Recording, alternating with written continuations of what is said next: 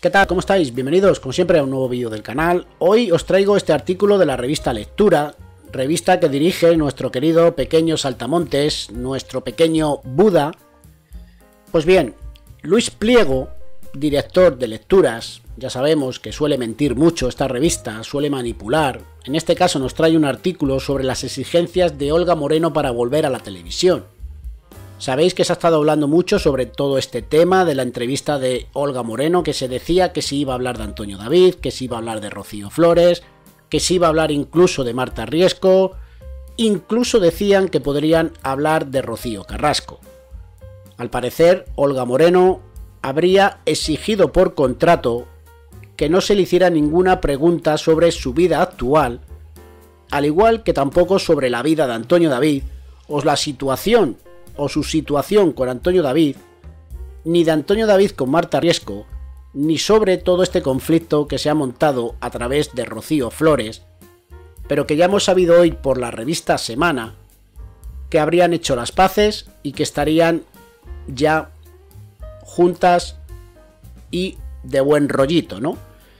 Pero ya sabemos que Lecturas tiende mucho a mentir, por lo que para asegurar más esta noticia nos tendremos que esperar al viernes, para saber cómo va la entrevista, pero al parecer Tony Moreno tuvo muy complicada la entrevista a Olga Moreno y según cuentan fuentes, según cuenta el artículo, personas que estuvieron en plató destacan que Olga Moreno puso muchas dificultades a la hora de hacer la entrevista para Tony Moreno.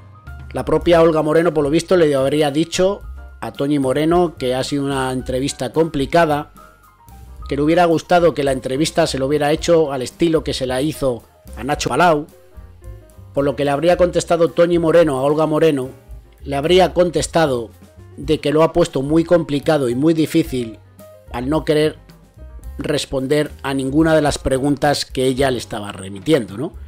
Al parecer, Toñi Moreno insistía, insistía y Olga Moreno pues no suelta prenda, ¿no? Sabemos que Olga Moreno, después de esa exclusiva, creemos que no va a tener intención de volver a soltar nada más. De momento, no tiene indicios de que Olga Moreno vaya a hacer ni otra exclusiva ni nada que se parezca, ¿no? Pero como digo, os ha estado hablando mucho estos días.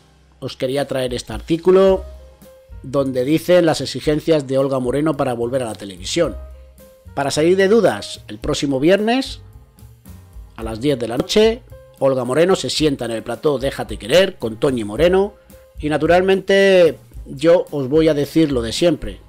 Yo os aconsejo que no le deis audiencia porque es lo que quiere la productora. Llevan a Olga con la intención de que hable de su vida, de que hable de Antonio David, de Rocío Flores, que es lo que interesa, es lo que da audiencia. Y Olga Moreno, que es bastante más lista que todos estos juntos, pues ha dicho, conmigo no vais a hacer caja y yo no os voy a subir la audiencia, porque no voy a dar carnaza para que luego los de la telebasura hablen de esta entrevista, que van a hablar igualmente, dirán pestes sobre Olga porque no ha contestado a ninguna pregunta, dirán que se lo ha puesto muy difícil a Toñi Moreno, de que no sé qué, que no sé cuánto, dirán tonterías, luego los de la telebasura, ¿no?